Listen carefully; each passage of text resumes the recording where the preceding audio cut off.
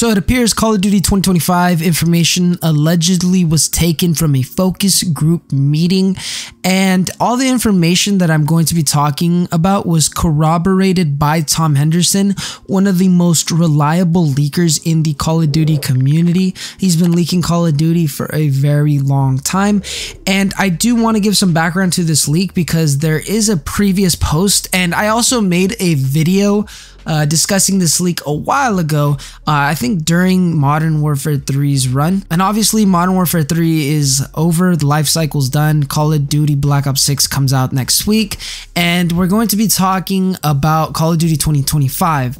And there was a focus group meeting. I don't know why somebody would take a picture of this uh, but there is a picture floating around and I don't want to post it here because I don't want to get anybody in trouble and I don't want this video to get taken down. But we're going to be talking about the leaks in this video. Again, everything was corroborated by Tom Henderson, so it kind of checks out. But I would again take everything with a grain of salt going into this video because again nothing can be guaranteed. What I find crazy about this leak too is that we don't even know who the developer for this game is. But if you guys do go on to enjoy today's video, I would really appreciate if you guys can drop me a like, subscribe if you guys are new, and let's get right into this. So apparently the campaign is set in 2035, continuing the Black Ops storyline. The protagonist is David Mason from Black Ops 2. The story is focused on espionage and informational warfare. The multiplayer retains meat shield mechanics. Human shields can have grenades stuck to them and be thrown back at enemies. Omni movement is going to be returning, including wall jumps for tactical advantages. I really hope that boost gameplay is not coming back. I would hate that because I think that era of Call of Duty is over over. Don't get me wrong, I would like to see maybe a game mode return with that, but I'm not holding my breath. For zombies, it's going to be focused on round based,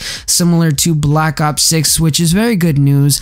I know that a lot of people did not enjoy Vanguard or MW3 zombies, and those opinions are very valid. I don't think Modern Warfare 3 zombies was pretty bad. I mean, it's kind of a first for what it was Modern Warfare zombies mixed with what Warzone. I don't really think it's that bad, but I know some people really do not like that. And I've, i can understand for good reason. I'm not to lie to you. And it's going to be featuring one of the largest maps in the series with a transportation system similar to Transit. It introduces an eight player mode, possibly linked to a classic mode where players start with a pistol, craft armor, and find new weapons. Modes like Outbreak and MWZ are likely to return due to community feedback. And that is all the leaks that we have gotten.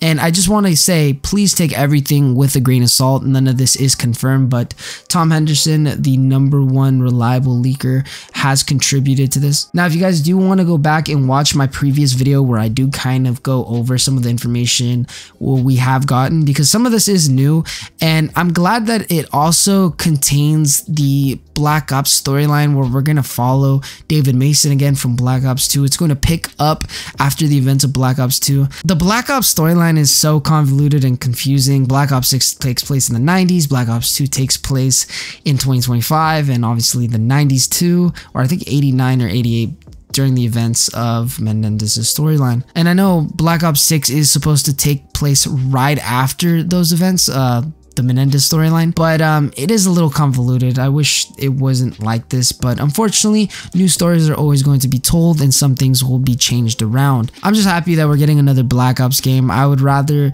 honestly, no, I'm going to be honest with you. I'd rather them not push out every single year a new Call of Duty, but you know, I that's only just a wish. I'm happy that we're going to be following David Mason. I wonder if the original voice actor is going to be returned or they're going to find another voice actor to replace the actor that we got in Black Ops 2. They did that similarly in Black Ops Cold War, replacing Woods and Mason from their original counterparts. But than that, guys, that's going to have to wrap up today's video. I hope you guys definitely did enjoy, and I will catch you guys in the next video. Peace out.